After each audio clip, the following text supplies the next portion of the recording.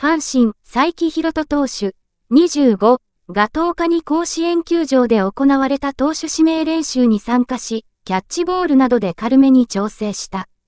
右腕は9日の西武戦で先発し、ノーヒットノーランまであと5人にまで迫った。